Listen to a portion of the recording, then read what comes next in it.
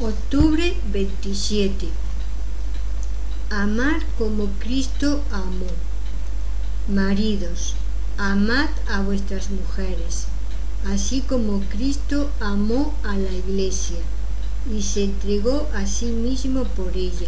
Efesios 5:25. Lectura adicional recomendada Mateo 19, 1 al 12. Bien, Ponderen ahora cuidadosamente los maridos cuando deben a sus mujeres, que debieran quererlas como a su propia vida, y aún así no alcanzarán la perfección de nuestro Señor Jesucristo, sino que le irán muy a la zaga. Por su parte, las esposas deben tener en mente que dado que la voluntad de Dios es que el matrimonio sea un tipo de la gracia de nuestro Señor Jesucristo. Serán extremadamente ingratas si no se someten a sus maridos, tal como Dios ha estipulado.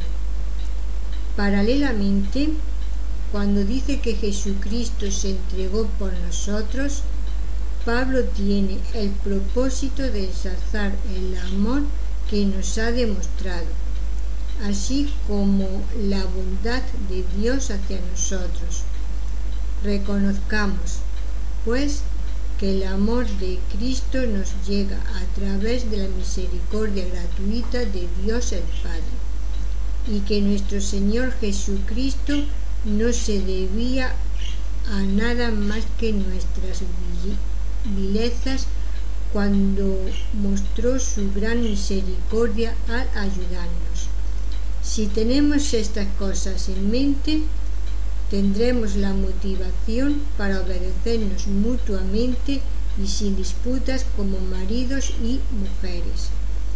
Y entonces sentiremos también el impulso de glorificar a Dios y reconocer con nuestros labios y con toda nuestra vida cuán grande es nuestra deuda con Él. Con esto manifestamos que Dios no solo nos ha librado de la condenación y arrancado de las garras de la muerte, sino que también ha condescendido en entregarnos a su Hijo amado como muestra de su amor. Jesucristo se convirtió voluntariamente en la promesa y el rescate para absorbernos ante Dios, de tal manera que el diablo tampoco tenga de qué acusarnos, porque Satanás es nuestro adversario y estaremos sometidos a él hasta que nuestro Redentor nos libere de su cautiverio. Meditación. Si Cristo ha perdonado los pecados de su pueblo, ¿Cómo puede negarse a perdonar los pecados de otros, especialmente de sus cónyuges? Los maridos cristianos deben recordar lo mucho que han sido perdonados y mostrarse compasivos con sus esposas. Además, tal como hizo Cristo, deben estar dispuestos a sacrificarse por ellas. Un matrimonio sano tiene sus cimientos en Cristo. Marido, ¿ofreces un reflejo de Cristo en tu matrimonio al guiar a tu esposa con amor y sometiéndote a Dios?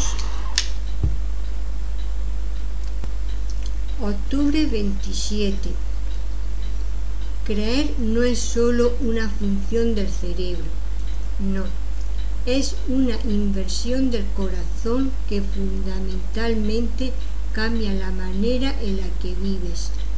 Era una ilusión académica, un reemplazo intelectual de la realidad, pero no lo sabía, debido a que había llenado mi cabeza en el seminario con los detalles de la teología de la palabra de Dios de tal manera que podía defender mi punto en cualquier debate teológico.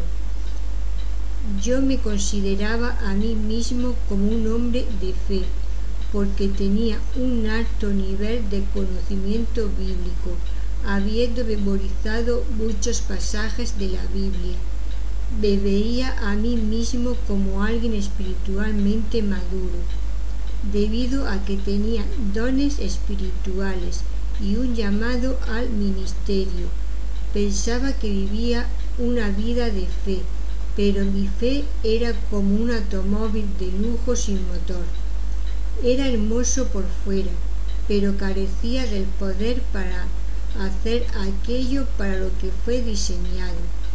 Si tú hubieras cuestionado mi fe, me habría ofendido mucho. Si me hubieras confrontado con mi falta de madurez, rápidamente me había levantado en defensa propia. Pero esta casa de cartas espirituales estaba a punto de derrumbarse. Aquí están las buenas noticias. Dios es fiel y hará lo necesario para formar fe verdadera en nosotros. La fe no es natural en nosotros.